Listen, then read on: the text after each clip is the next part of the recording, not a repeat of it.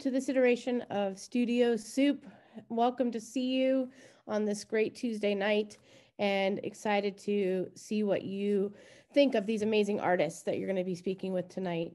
Just a reminder, this is a conversation, not only between the artists and our host, but also between you and our artists. So we hope that you will put your questions in the Q&A area. Um, I will be jumping in and out with some questions from the audience. Um, and we look forward to hearing from everyone um, exactly what um, they're hoping to get out of tonight's uh, event through that Q&A section.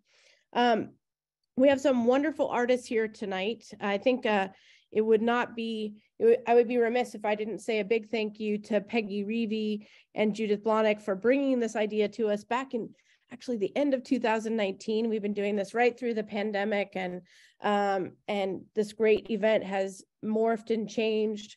Tonight, you'll see only two artists. There's so much to talk about. And, um, and Peggy's on a little hiatus making some uh, amazing work of her own. So um, we are very lucky to have our very own Cecilia Koger, our Director of Exhibitions for Angels Gate Cultural Center, with us tonight as our host. And um, a big thank you to everyone for joining us at Angels Gate Cultural Center, even on virtual.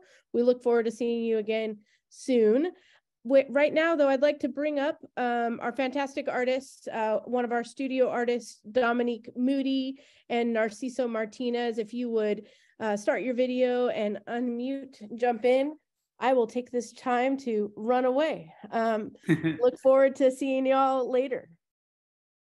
Thank you, Amy. Uh, thank you everyone for being with us here tonight. I am Cecilia Koger. I'm the Director of Exhibitions for Angels Gate Cultural Center as Amy mentioned, you can put your questions in the chat feature at the bottom, uh, specifically for Q&A. There's a little Q&A button. Um, just a reminder, we are uh, not live streaming this. However, we will be recording this meeting for educational and promotional purposes. And um, also you can enable closed captioning. It is a setting at the bottom of your screen, or if you're on an iPad, it's under meeting settings. So I'd like to quickly start off with an acknowledgement. Angels Gate Cultural Center is located in San Pedro in the Port of Los Angeles region in California. We recognize that we live and work on the traditional and sacred lands of the Tongva, Kizh, Acjachemen, and Chumash, and the many other indigenous groups who call these grounds home. We at Angels Gate Cultural Center honor and extend our gratitude to all of the original people still living in this region.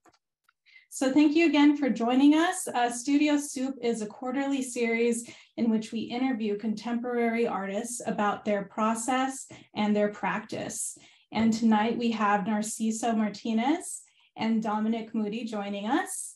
Um, just a little quick mini bio about each of them. Uh, Narsiso Martinez was born in Oaxaca, Mexico, and came to the US when he was 20 years old and went on to earn a Bachelor of Fine Arts and later a Master of Fine Arts from CSU Long Beach. He has shown locally and internationally and is currently showing with Charlie James Gallery in Los Angeles and recently closed his solo show at the Museum of Latin American Art. I saw it and it was wonderful. And he is also the current uh, Frieze Impact Award winner. So congratulations, Narsiso. Uh, Dominique was born in Germany in an African-American military family living abroad, returning to the US to Pennsylvania in 1960.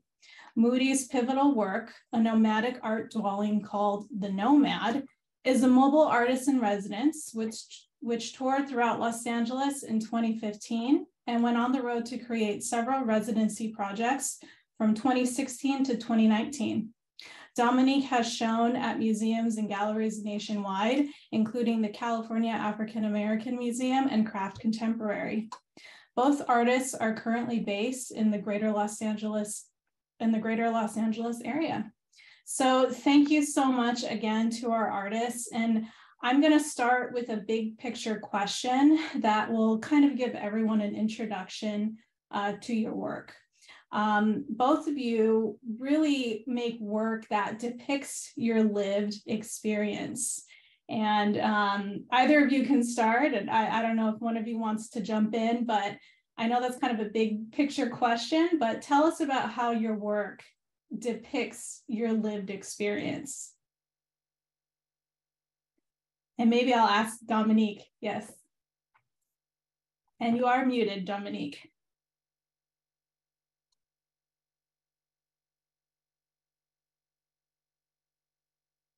Mute. Okay, sorry. Hello, everyone. Um, my lived experience has really informed my work uh, as an assemblage artist and collage, collages, uh, because it's narrative. And the lived experience, um, both for myself, but also my extended family, has, has had such an incredible narrative life experience that I felt the need to uh, both articulate that and illustrate it uh, through the visual experience as well. Um, it was very important for me to, to do that. It's a way of me um, being able to tell stories that I felt were, were not really visible or heard. And um, that lived experience has shaped that. And it continues uh, to do so. Um, so I'm not just looking at the past, but the present and even the future um, of, of what will continue to be my lived experience. Yeah, Dominique, something that's interesting about your work is that it feels like like a collection, like you've collected these moments in history, these moments in time that sort of um, kind of tell a visual story. And I feel like that was really present in, in the image that Annie just pulled up. Um, but yeah, do you feel like this uh, experience that I mentioned earlier of, of growing up in a different country and in Germany as part of a military family, how is that uh, reflected into your work? And we'll, we'll uh, also ask Narsiso the opening question, but I kind of want to segue a little bit deeper. Yes, um, certainly it, it has. And I, I think having been born out of the country um, and yet having had parents who were from the US, uh, it, it did create a multi-layered kind of cultural experience mm-hmm. that I was trying to articulate early on. I came in at a young age, uh, but at, at an age enough to have had a understanding that I am in two different places um, and had this kind of multiple experience. And it wasn't always easy to have been informed by two different kind of language experiences as well. And therefore, trying to find a language that was more in keeping with my actual experience was really important. And to me, the only thing I found that truly encompassed a more universal language was the language of art and creativity. It mm. tended to go outside of the boundaries of more formalized language. And therefore, um, I was much more fluent in, in that area than I was in either uh, the, the language that I ended up being born into in that country, in Germany, and then the language of my my family and parents, which was English. I didn't feel really uh, proficient in either one to get to uh, the stories of what I wanted to say, but art was that language. Mm-hmm. Yeah, and, and you certainly have developed your own visual language in your practice that's very uh, distinct. And I think we'll talk more about that later. Uh, but Narsiso, I'd also like to hear how your work quite literally depicts your lived experience. Um, as I mentioned earlier, you came to the United States when you were 20, when you were an adult. So you lived a totally different uh, culture.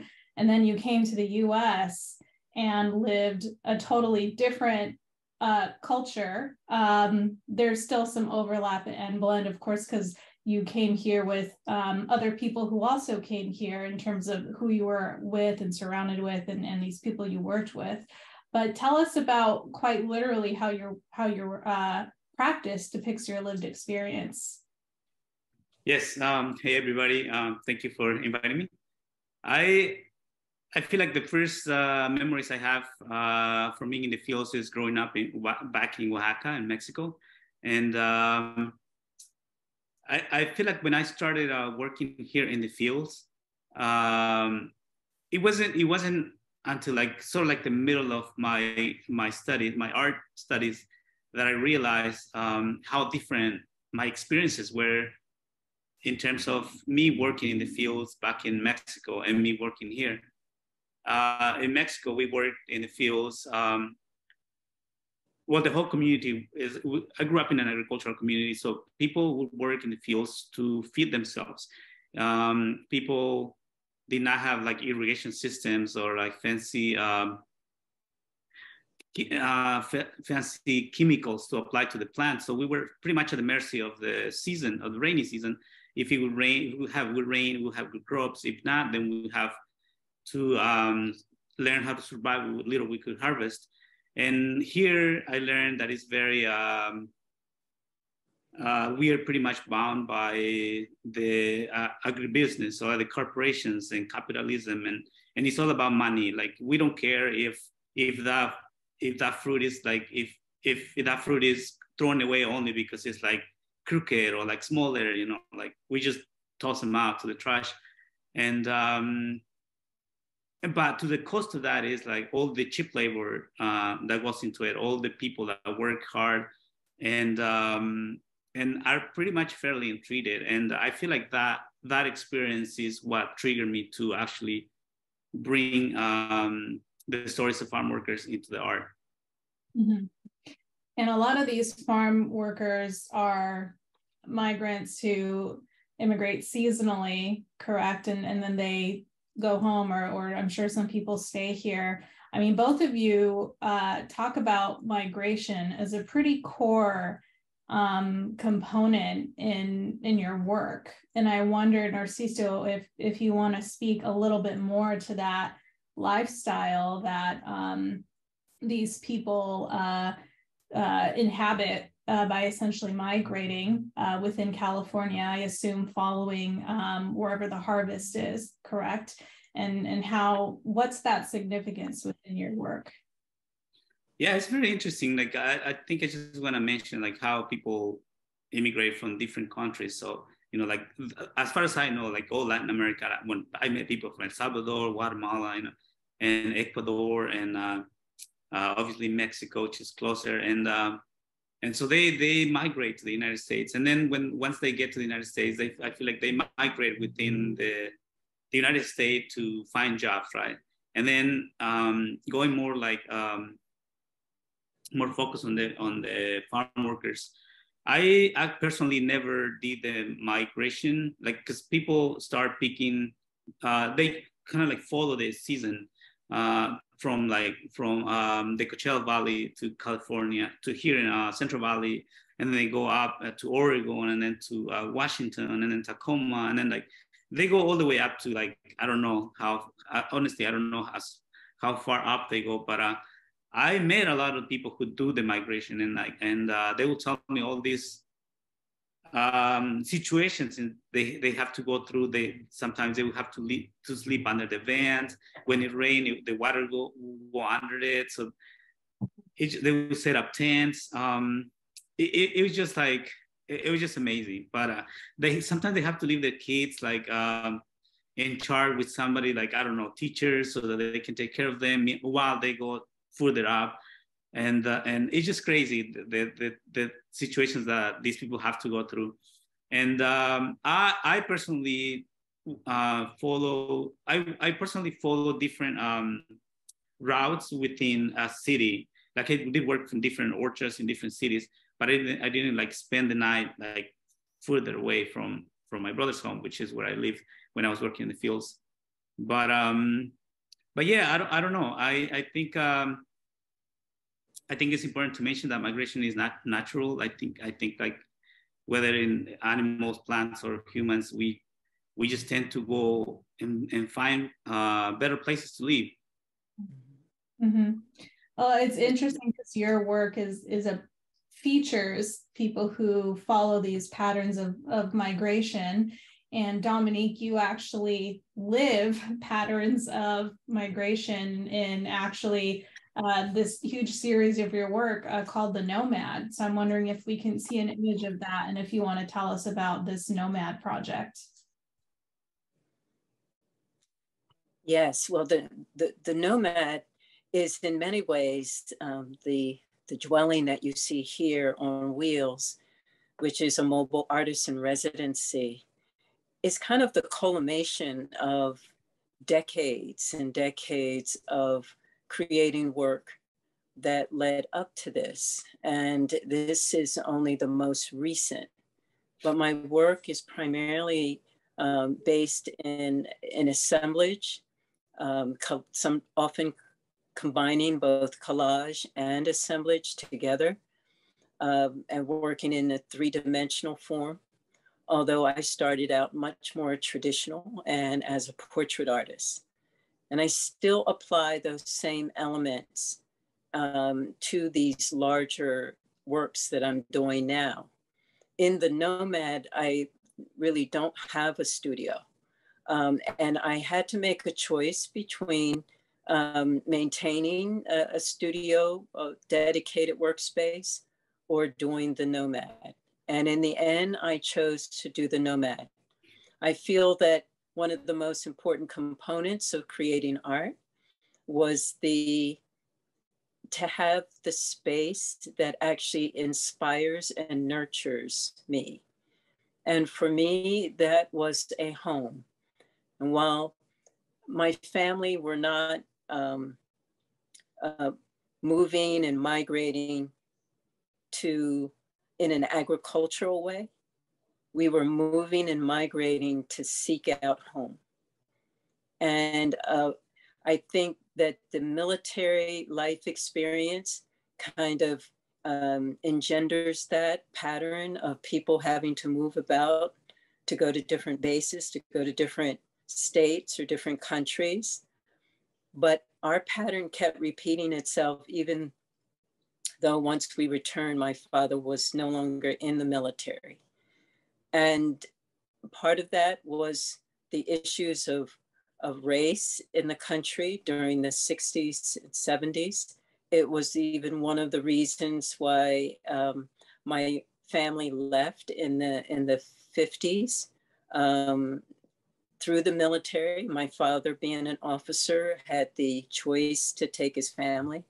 And even though he was taking his family into a country that had um, been kind of torn apart by, you know, the, the horrors of war, um, he actually felt that that would provide a better opportunity than what he was finding in America as a, a Black man uh, mm. raising a family.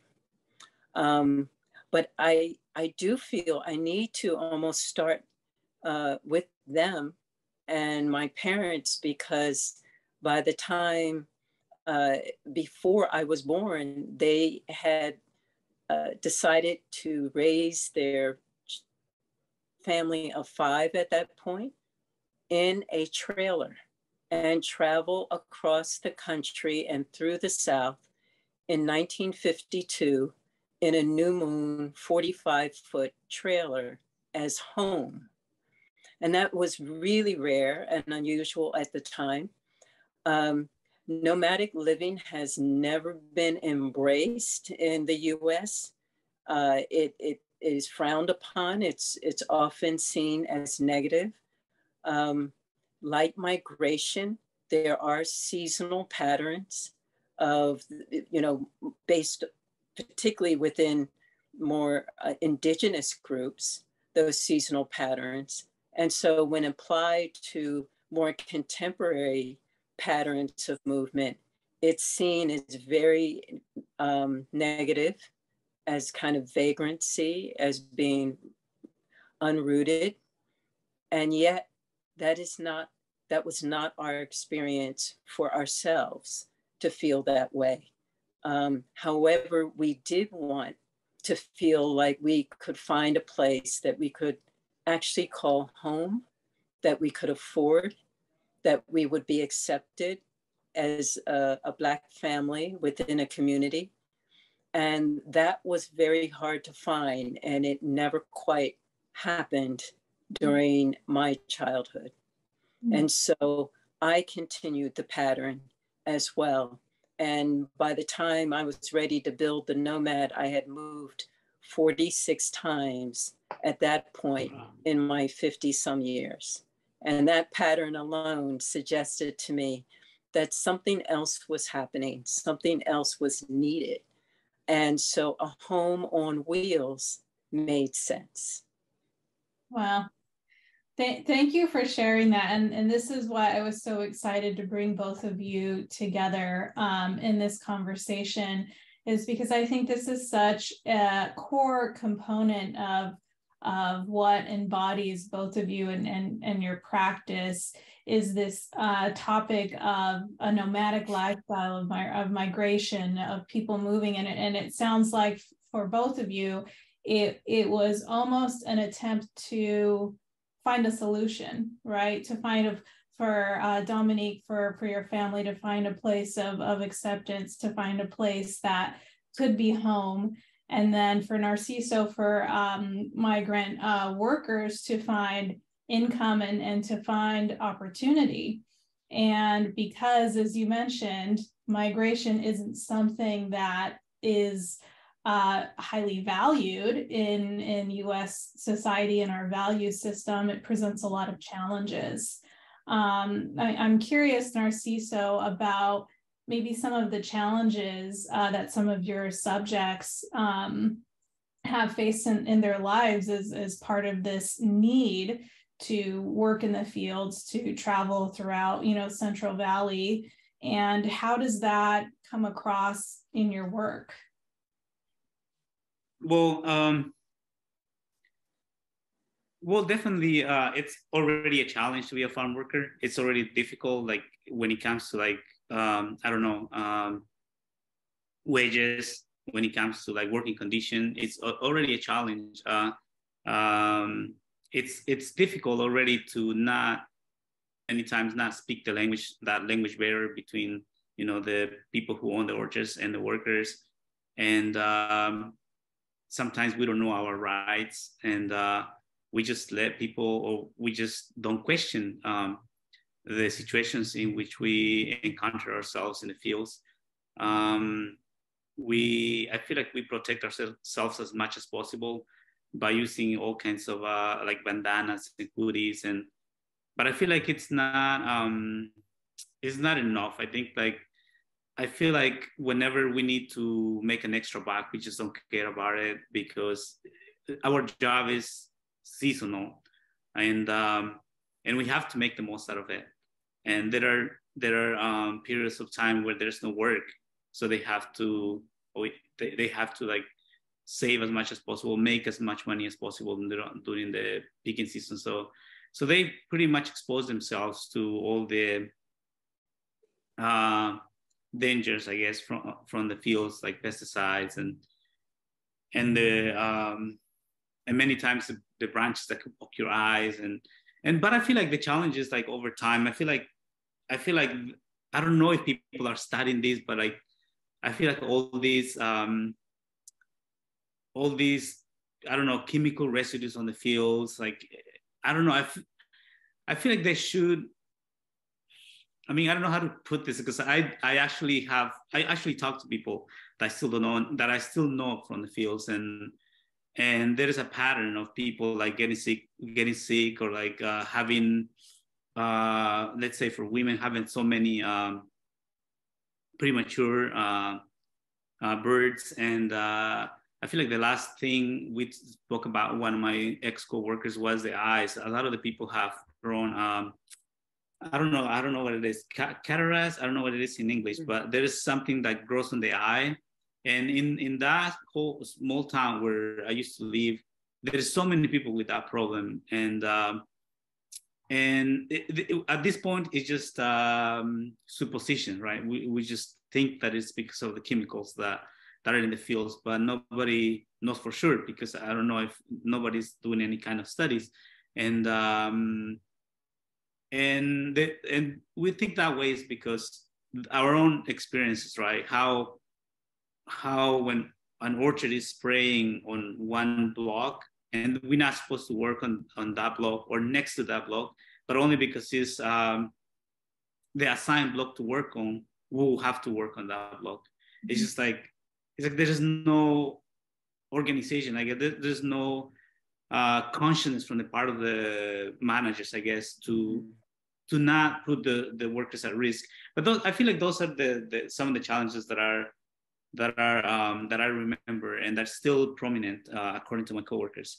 And um, um, so yeah, I don't, I don't know, like in terms of um, in terms of my my migrating from one place to another in, in order to come to the U.S. to work. Uh, many many of the workers sometimes don't cannot make it because they, they don't have documents so they can't come like uh, legally so a lot of the workers come from different from other parts and sometimes they, they cannot make it to to the united states and sadly they they get lost. They die on uh, trying to cross the border. There is this program called h2a which brings um, uh, hire workers from other countries. And it seems like so ideal right? Like we we come with a with a secure job and like and they pay they paid our um, plane tickets but um but i feel like they they they leave i actually met some people when i was working in the field and i remember like this person was faking he was sick because he didn't want to he needed a day of rest. Like they have to work like every day like more than eight hours and they cannot go anywhere because they don't know the city they don't have a car. Um, it's like they, they live in, in a prison and like when they go out shopping for groceries they have to go as a group. It's just messed up. I don't know. It's just like it's like it's it's crazy it's crazy well i i really appreciate um you know your work and I, and I think the reason why your your work is getting so much positive well deserved attention is because you're asking us to value um, the people who are unseen and, and who go through these challenges that you mentioned. I love the piece Legal Tender that Annie showed, um, the large piece that you had at uh, MOLA, because you actually place workers on a dollar bill directly making that parallel between you know valuing um, the farm workers who work so hard to provide us the food that we eat every day. Um, I really love this piece. Um, so I, I really, really think that you're bringing so much attention um, to the lives of, of these people who whose lives are so much more difficult than than mm-hmm. someone like me. So so I, I really appreciate um, your practice, and I and I know Dominique that you also um, have some really um, challenging parts to, to making your own practice as a visual artist, something that I, I can't even imagine having to deal with. And I'm wondering if we can pull up the piece uh, Myopic Vision. Um, and maybe you can tell us about your unique challenge as an artist. Yes. Um, you know, as you as you go about through again your your lived experience, sometimes you'll encounter uh, challenges within your life that you're certainly not prepared for and they they are very personal but i have begun to find that oftentimes the personal um, really pushes you to express things in a much more universal way and the shift in my eyesight was one of those experiences for me um, while it was a real challenge and struggle uh, personally. And the biggest challenge of it was was not actually the um, the condition itself, which was that I was losing my central sight, and in in that deterioration of my central sight in my late twenties, I was already a struggling but practicing artist, and um, my work was very detailed. Um, I was much more attracted to realism and drawing and, and uh, starting painting. Um, and, and so I had a lot of formal training, a lot of traditional work. So to lose that kind of sight was a, a, a traumatic experience. And what I um, felt I, I needed to do was was to kind of go inward. Um, it's a real social stigma to have what is deemed a disability. And as a person who was already layered with a complex life, um, being a Black woman, um, being a, Black woman at the time when this was occurring, um, was just after I had gone through a period of becoming a um, undocumented person due to a quirk in the system that brought me in through a military family without doing some of the proper um, uh, citizenship uh, demands. And so I've had all of these experiences, and now I was then struggling with my sight. In this photo, the way I work, which is sometimes at various scales, depending on what I find, the objects and found material can be very small or very large. And in many ways, I kind of harvest the dumpsters, uh, which can be really um, strange work to do and to it sometimes even dangerous but in finding those materials and then having to explore them visually and put them together and assemble them into sculptural pieces requires magnification. Uh, glasses don't really affect my eyesight, and these are the traditional glasses. The glasses you see me wearing in this photo are magnification glasses. So it's not the kind of glass you can walk around in. And so without the magnification, I am deemed to be partially sighted or partially blind. And when I first heard that term, I was really shocked and I was very disturbed by the use of it because I felt that there were things I could still see and a world that I could still um, be within that was visual. Uh, but blindness is a spectrum and it has all kinds of nuances of what it is you can see.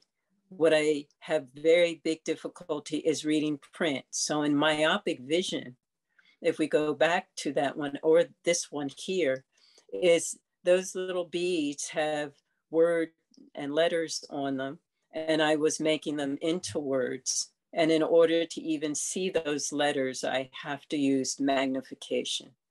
Um, so, you know, I cannot recognize faces. Um, I can kind of see people more as silhouettes. And so that's what started to play into the artwork.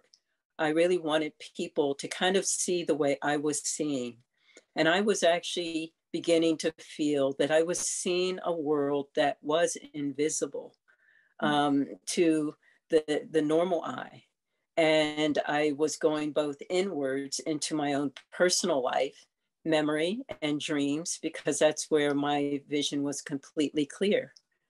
Um, in myopic vision, that's a self portrait, and it combines both text and a poem that I wrote using all the kind of uh, word isms regarding sight in the English language and the magnification are from tools I used to use until they were no longer strong enough uh, to really assist me.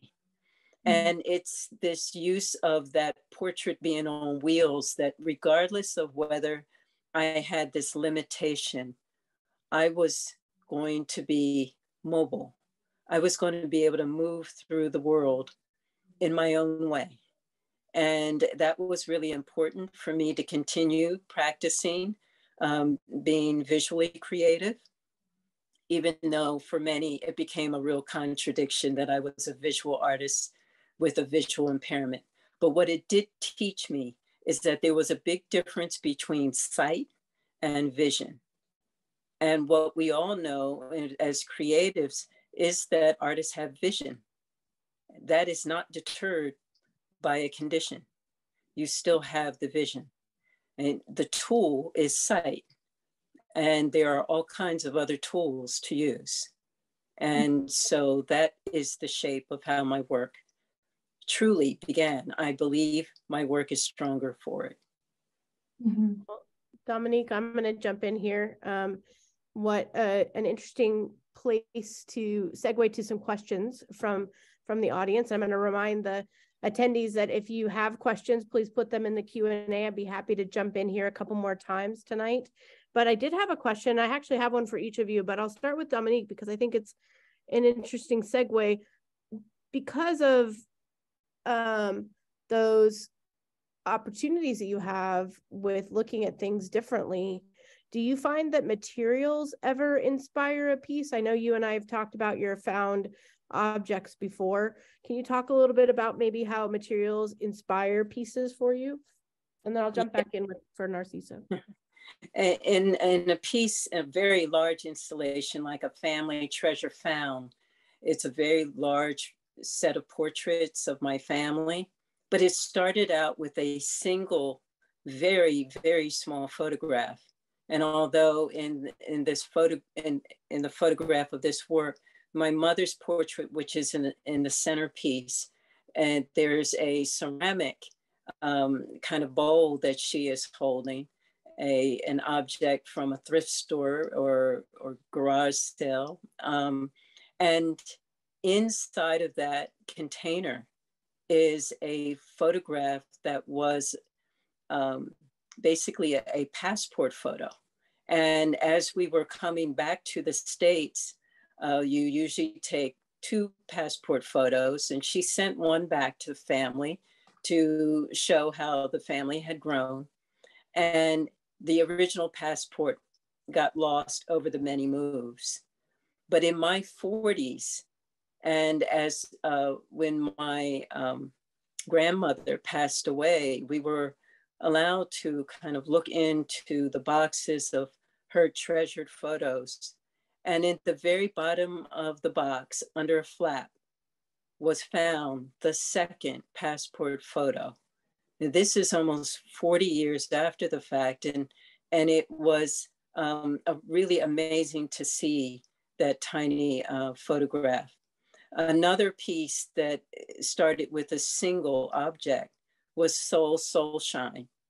And that is a piece that waiting for a bus in, in Los Angeles. I was sitting at the bus stop uh, waiting at, on Pico Avenue. And in the gutter was a complete formed shoe sole with no shoe connected to it. And I was astonished by seeing it. And the first thing that came to mind uh, was, you know, the, you know, this line, someone in LA has lost their soul. And I felt that the double meaning of that and the whole idea behind, you know, you, you have to kind of try to walk in somebody else's shoes um, was such a profound statement that I felt the object needed to be kept and brought into being into something else. Uh, the people who were watching me uh, pick up this shoe sole, though, were in complete disgust. They thought I was mm-hmm. perhaps crazy. And mm-hmm.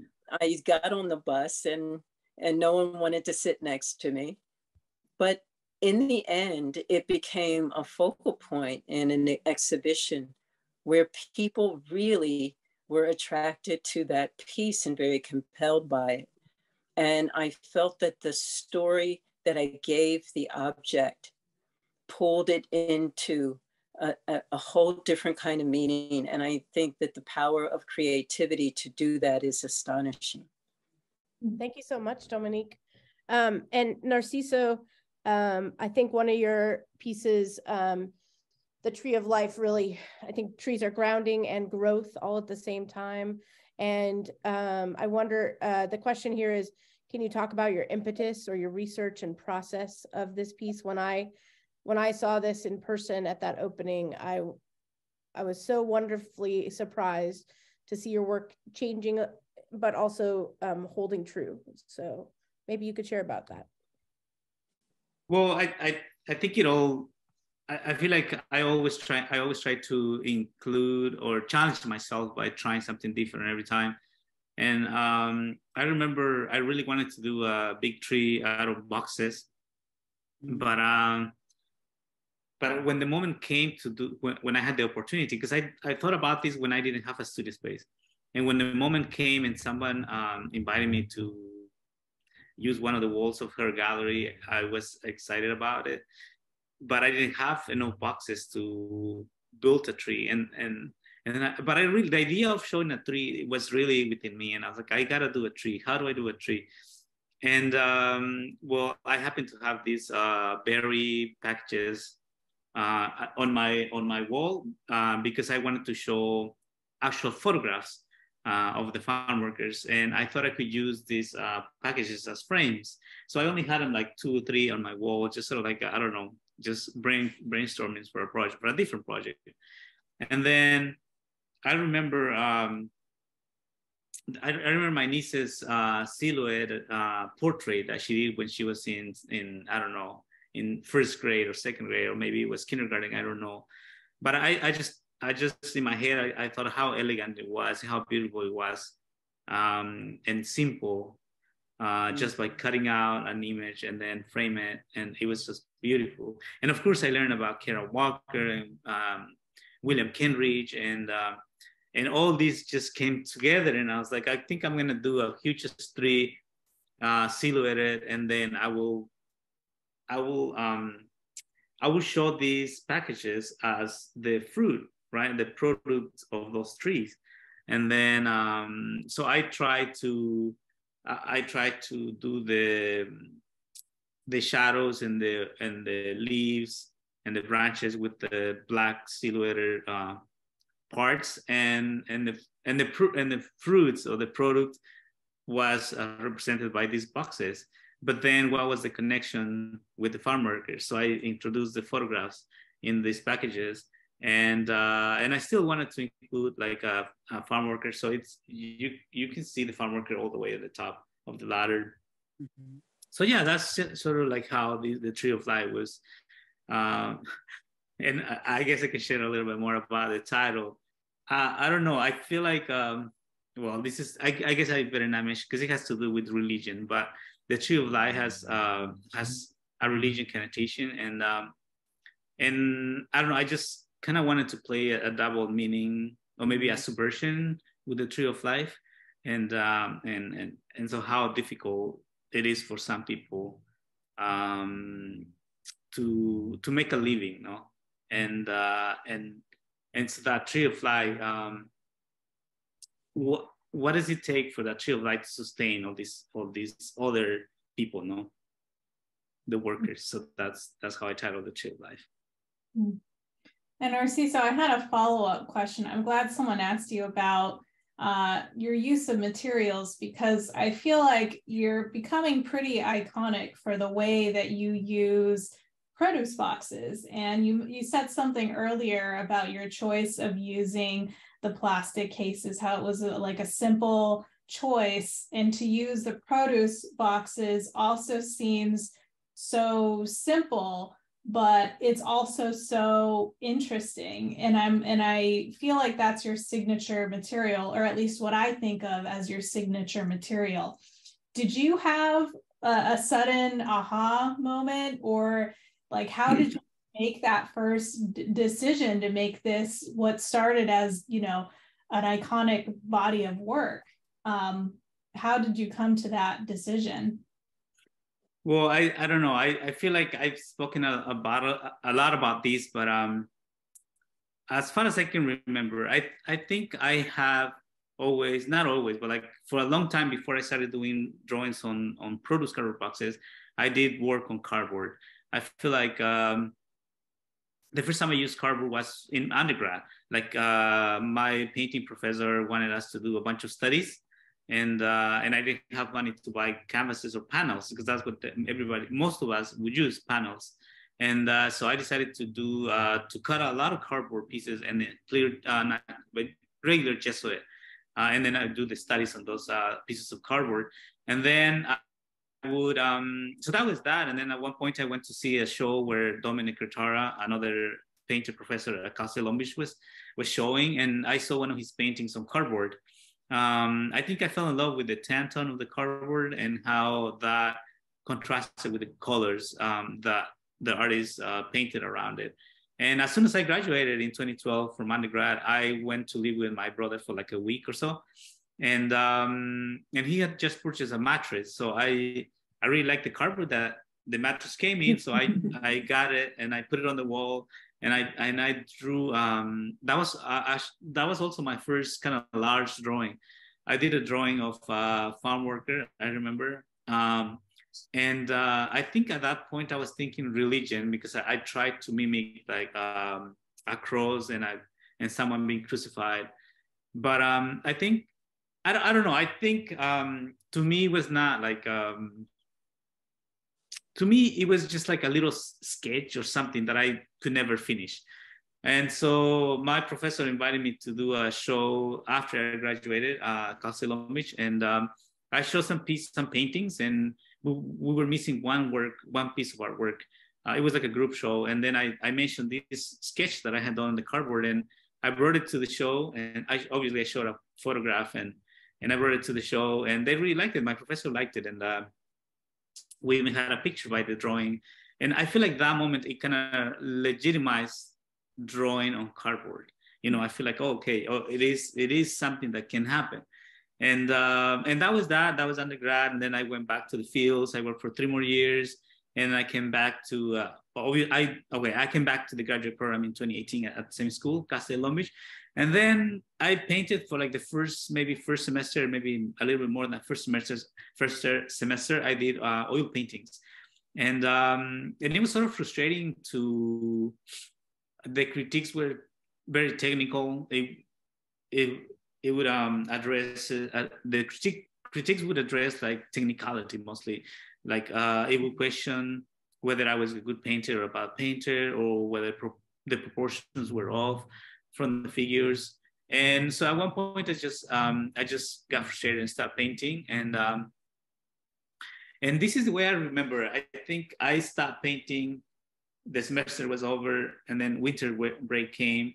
And because I had done studies on cardboard when I was working in Washington State, uh, I would use my sister's garage, and I would use the boxes that she would bring from Costco of course I, it didn't occur to me to include the labels. I just i would just cut out like all the edges of the box and i would just draw on the center. And i did a bunch of those. And then during that winter break i just went to do something that would make me feel like i would still be interested in doing something. So there was this moment where i went to help my brother again in hollywood. No actually somewhere in yeah somewhere in la and uh, he sent me to get pizza costco. And then i saw these box that I, I liked. And I was like, oh, I'm going to take this box. Maybe I can draw on it. So I took it, it landed in my studio at State Long Beach, and I did this drawing because it was a banana box. I did this banana man, uh, a man carrying a bunch of bananas. And I started drawing it on the center, but I don't know what I was thinking, honestly. I don't remember, but I didn't cut the edges yet. Maybe I was thinking I'll cut it later. I don't know. But mm, I don't know. I feel like I didn't, I didn't think this, I think, I didn't think it through, right? Like this, the proportion of the main was a little large, so it couldn't fit in the in the little center. So it kind of bled a little into the edges. And uh, and when the next semester approached, I showed that to my class, and um, and they liked it. My professors liked it, and uh, the fact that we were not talking about technicality as much anymore, I think that made me happy.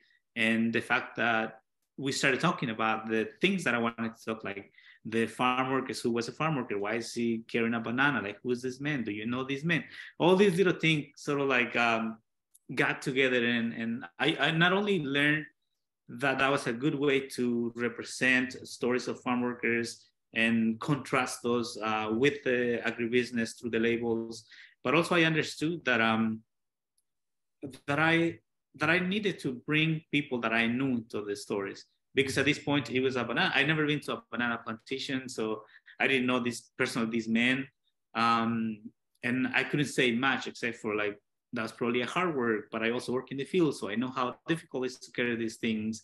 So that's how um, I started bringing more and more people that I that I actually that actually know, that actually met, that actually interacted with into the art. Mm-hmm. Thank you. Uh, I love hearing that story. It sounds like it was born out of necessity and then it sort of became something that made a whole lot of sense for your work.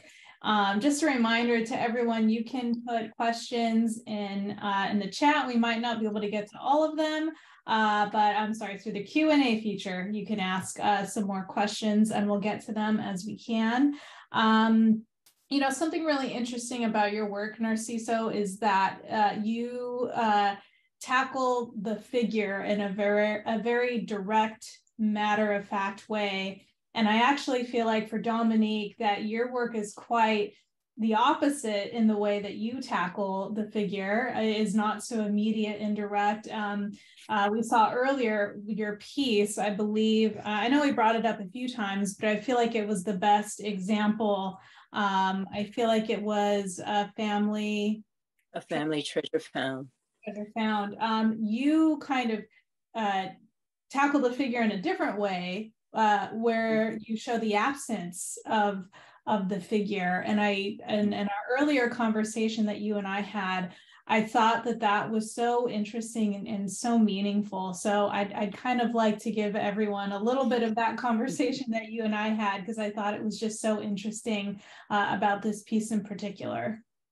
Yes, and th- this part installation was very large. Um, it was to actually recreate a, a family portrait, um, bringing everyone back in uh, to a kind of single uh, uh, experience. My family was very spread apart, and some members of the family had been absent uh, to the nuclear family for some time period. Uh, and trying to make sense of that story and bring it together and create a narrative that was certainly my personal one, but something that a, a, a lot of families experience uh, in, in, in the US, this kind of disconnect of family members. And so I wanted to use things both that would unite these portrait figures, but also make them uniquely their own. And and also create visuals about the narrative of how I came about finding them, the journey that I went on.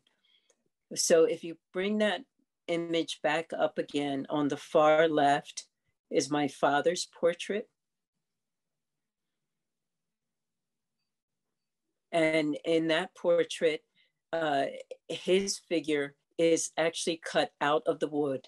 The wood in this in all three of these pieces is uh, Douglas fir, and it is Douglas fir from a single tree. And that was kind of before reclaimed wood was easily accessible. Um, but this, I was able to go direct to a mill and get a single piece that I could, then could cut into these components because I wanted to show the relatedness but in doing that, each figure is done quite differently. My father shows absence. His figure is cut out because during the process of going to see family members and tracing their, their shadows as silhouettes, I was not able to find him in time for this portrait. But out of memory and photographs, I was able to capture his silhouette. I had been doing silhouettes from the late 80s as soon as my eyesight was shifting. I saw the figure in that way. And so tracing the shadows, like Narsiso was saying, the simplicity and beauty of uh, the, the, the shadow is quite amazing. And what I love about it too is it requires, in many ways, at times, the participation of the subject to actually stand there and have their shadow trace. And it feels very mm-hmm. personal because you are literally tracing their shadow. Uh, the second image of my mother in the middle, it's called Mother Home. And Mother Home, she is cut out of the wood. And the base of her body is the table. And, uh, you know, the relationship she had is, um, you know, the mother of the household, the mother of a total of nine children, uh, really felt um, like a, a, a, perfect melding of, of objects, found objects and materials, and her silhouette. And then the third figure on the right, uh, which is a self portrait, is the wild child.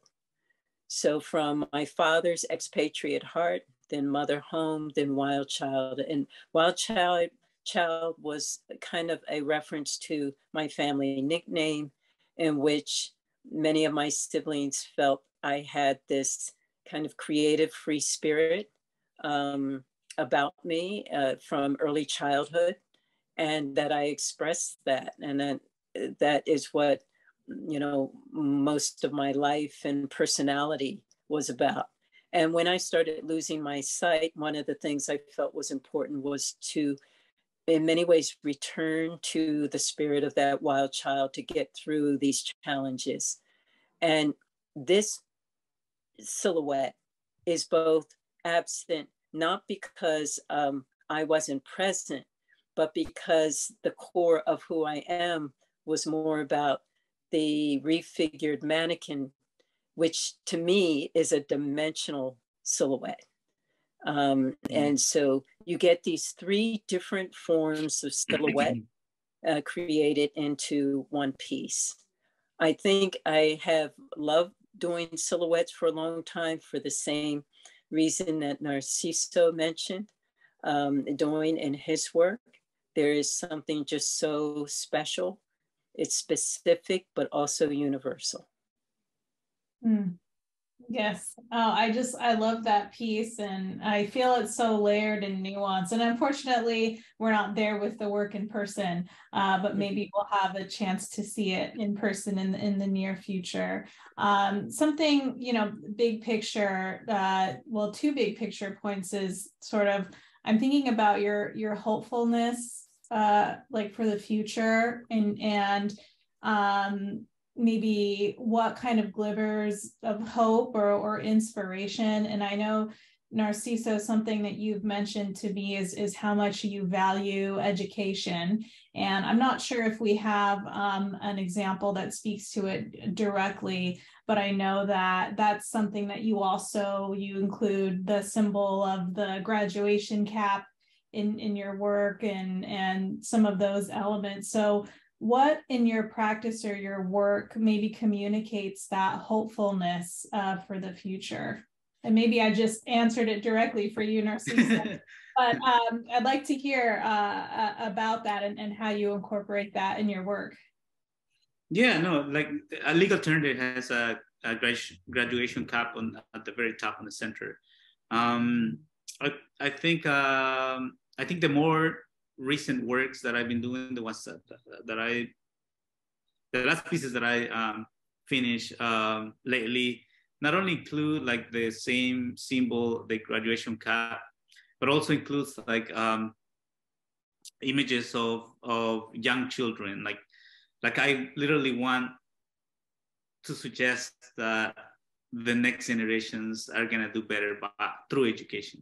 I feel like um, I feel like because I work in the fields and I know how hard it is, and um, and now that I'm in a privileged position, uh, and I say privileged because it's so wonderful to have my sorry, it's so wonderful to have my produce delivered to my house and and uh, all organic and like fresh or whatever, you know. And I don't I don't know if uh, I, I don't even I didn't even know about it when I was working in the fields, but like the idea that how how all these people can do the same, how can we achieve the same? How how can can it be a little bit more fair, right?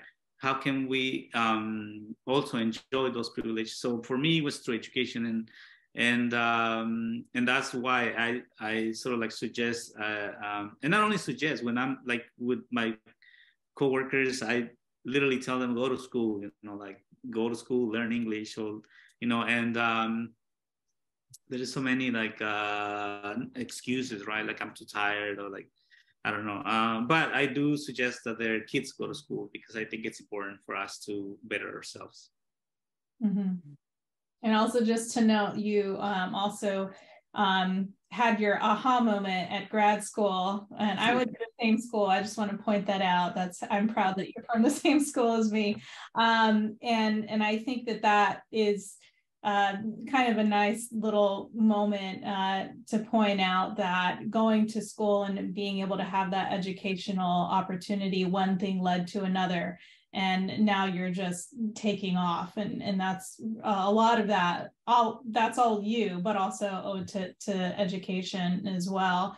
And, and Dominique, I, you know, I have a similar question f- for you, but maybe sort of what do you want viewers to sort of take away or or what is it your hopefulness in terms of how your audience interacts with your work and, and your practice? You know the celebration of of stories um, and not just my own but of uh, individuals. Everyone has a story um, in an even larger picture, everything has a story. And so the objects I find have stories to tell.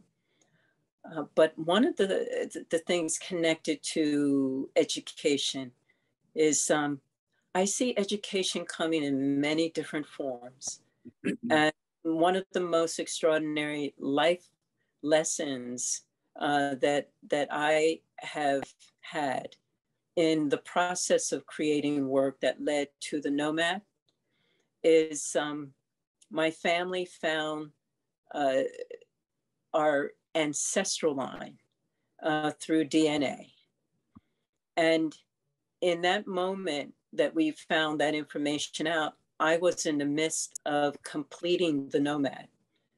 And so I had already named it it already had its license plate. I had been using the term for years. Um, I knew I needed to move about, but create my own home that would accommodate that and take me with it. And so when the envelope was opened and my sister revealed that we were uh, just this almost 100% related to um, the West African large tribal uh, communities of that were nomadic of the Fulani and Hausa. I was in many ways not surprised.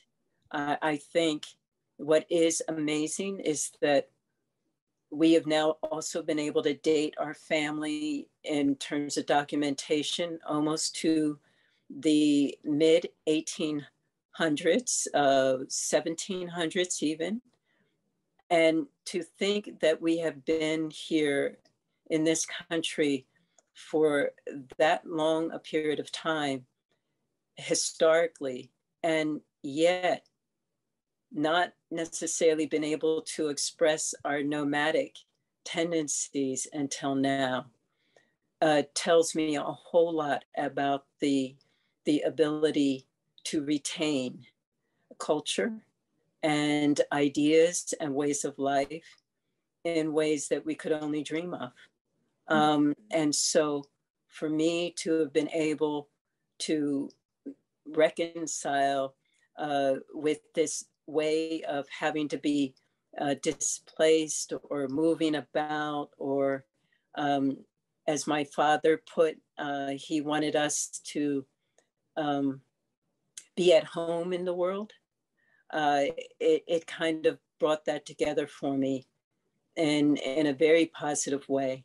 And it's one of the reasons why I realized that the, the nomad can offer solutions and hope and inspiration uh, to people who are also struggling with finding ways to be at home in the world these days.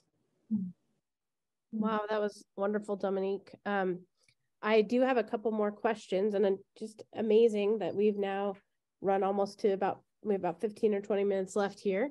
Um, but a mm-hmm. comment uh, for Narsiso, um, you know, somebody wrote immigrants doing unwanted but essential work are in many or most cases dehumanized and being treated as disposable tools.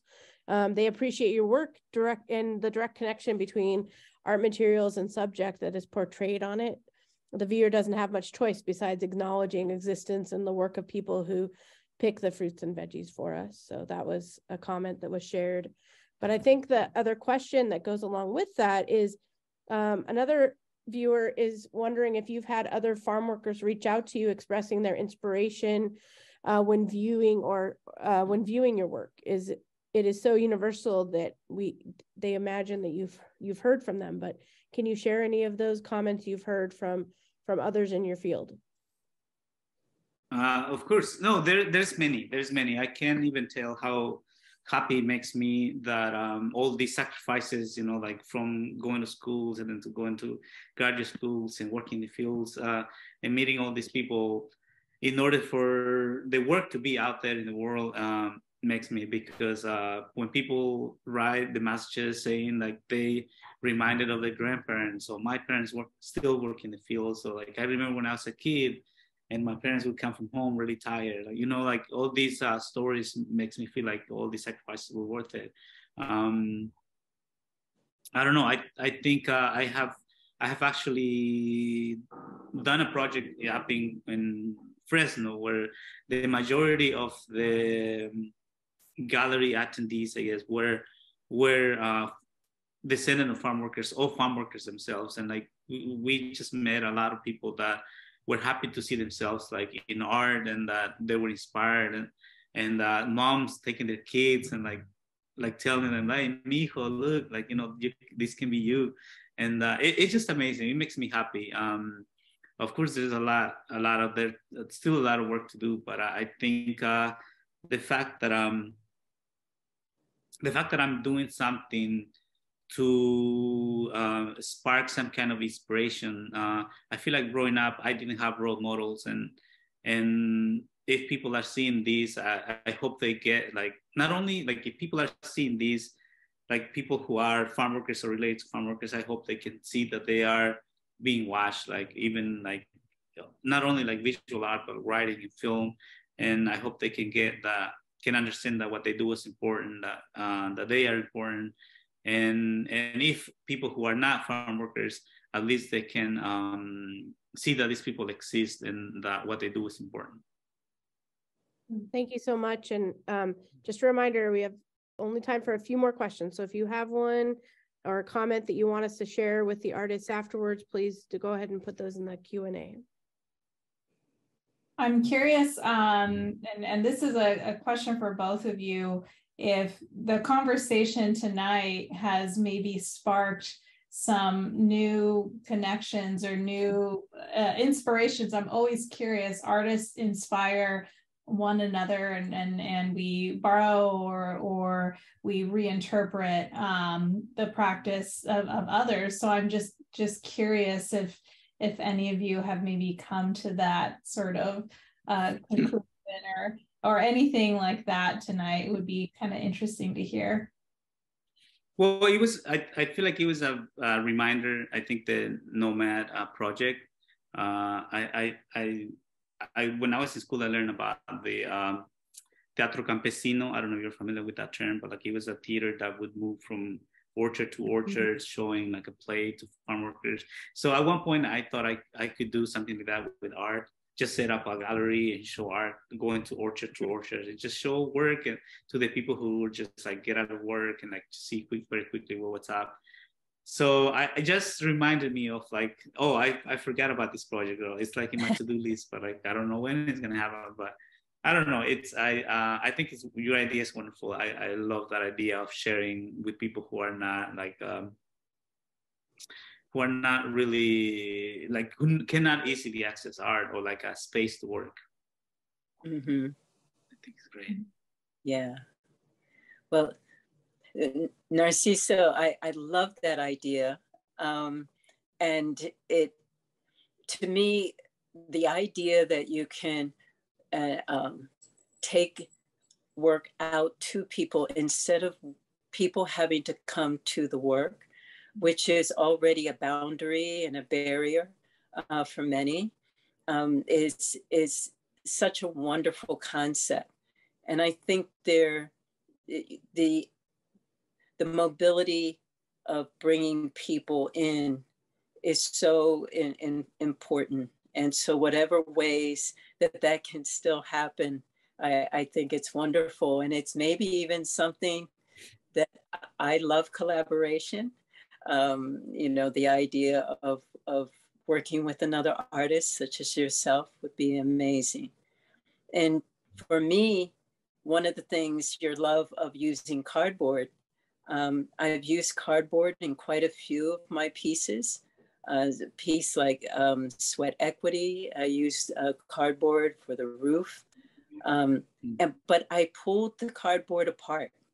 so the inner core of the cardboard is corrugated and mm-hmm. the texture of it is is really interesting and and fascinating and i was actually using cardboard mm-hmm. boxes That's really cool. from moving and especially moving some of my art art materials and old work and old sketches and drawings.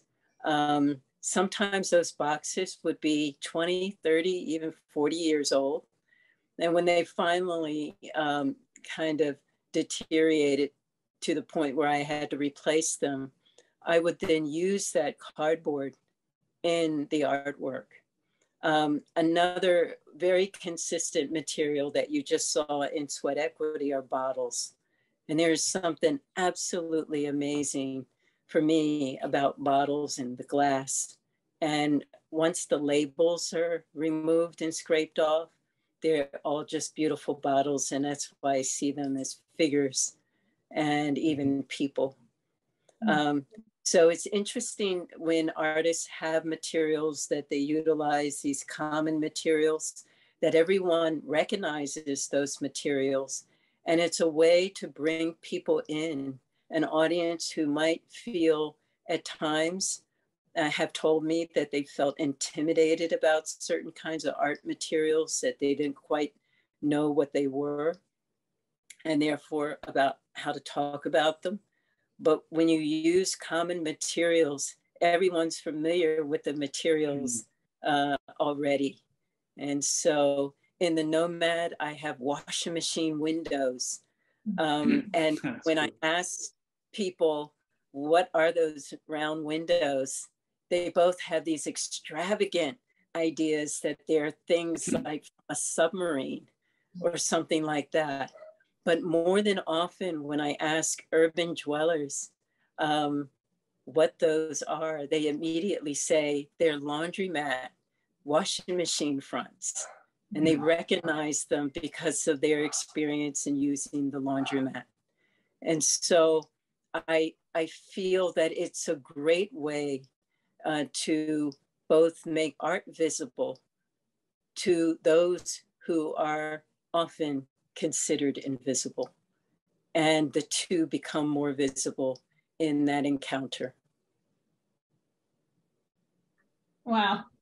I feel like that last statement about becoming more visible, you, you both are doing that. And Narsiso, you do it by making these invisible workers very visible in your work. So thank you for that last um, statement, Dominique. That was such a great point um, that applies to both of you and, and your practice.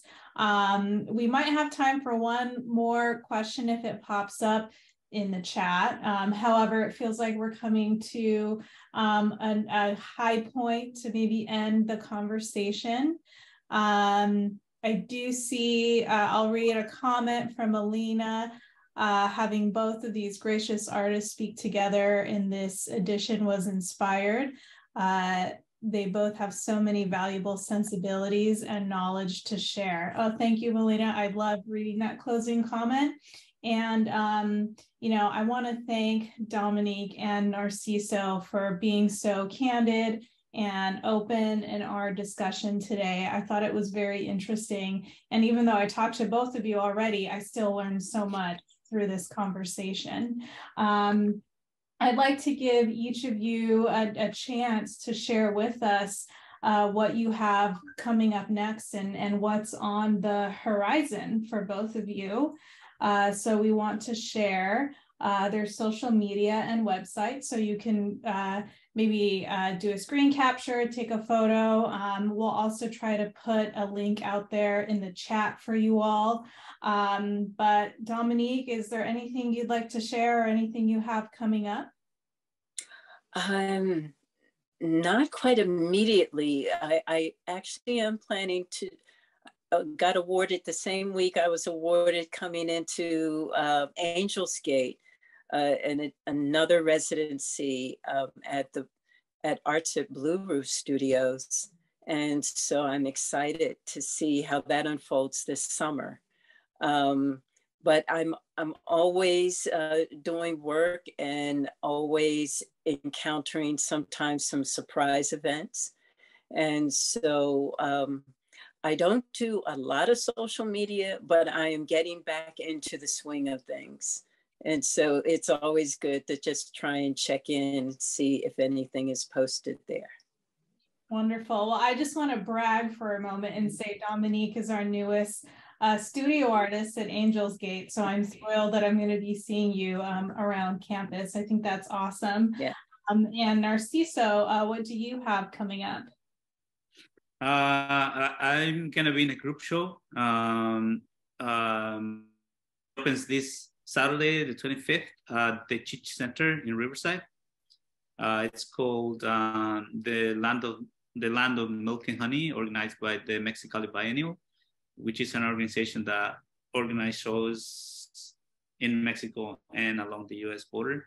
Um, I'm also in a group show at Self Help Graphics, which also opens uh, this uh, Saturday, the 25th. Um, it's called Essential Workers uh, Visual Narrative. Um, so yeah, so I think that's those are the two that I can think of right now. Wonderful. Well, we did put those links in the chat um, and we'll put up their websites real quick if it real quick if you want to grab that information and of course you can always email us if for some reason you uh, you know want to get this information later on so at this time i want to thank the artists again feel free to uh, turn off your webcams for a minute while we make some last um, announcements. And I also want to invite all of you to, to, to participate in some additional upcoming programs at Angels Gate Cultural Center. Uh, we're based in San Pedro, which is the very southern end of uh, Los Angeles City. And we have numerous free public events like this one. On April 15th, mark your calendars, Open Studios Day. Uh, all of our artists will open their studios. Well, most of them will open their studios. As I mentioned earlier, uh, Dominique is now part of our uh, uh, studio artist roster. Uh, that's going to be from noon uh, to 4 p.m. on a Saturday, April 15th. And then we have some additional public programming coming up. Uh, we have an artist talk for the exhibition that you see behind me in my virtual uh, background. That's going to be in person in the gallery on March 4th. Uh, we're going to be having a closing reception for both galleries on March 25th. And then the same day as our Open Studios Day, we're also going to have two new exhibitions opening, uh, Notions of Place and Direct from the Classroom.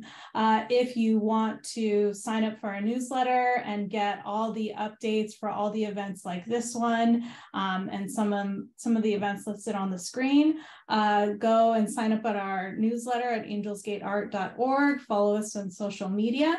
Angels Gate Art and Angels Gate Art Gallery uh, on Instagram. And then, of course, I'd like to thank um, the crew that makes this possible. Uh, she has been working in the background, but thank you, uh, Judith, who's our producer uh, and one of the initial uh, people behind this idea for this series, Studio Soup. So thank you, Judith. And then thank you uh, to Amy, who uh, read our questions in the chat and, and opened us for the evening. And then of course, thank you, Annie, who put all of these images uh, together and thoughtfully pulled them up throughout the conversation. And then um, a quick shout out to Adam Gaxiola, uh, another one of our studio artists, and that is our opening music and our uh, closing music. So thank you again, everyone, for joining us tonight. All of these links uh, that you saw on the screen. They're again in the webinar chat. Um, so thank you uh, for your time. And if you want to learn about the next Studio Soup, please uh, follow us, uh, visit our website, and uh, join us for the next one. So thank you, everyone, and have a great rest of your evening.